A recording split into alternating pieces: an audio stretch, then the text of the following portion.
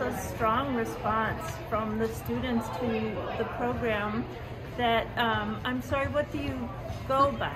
Brie. Brie, okay, that Brie presented today. There was a loud cheer when I walked by the door just at the very start of the program and I've never heard such a response before.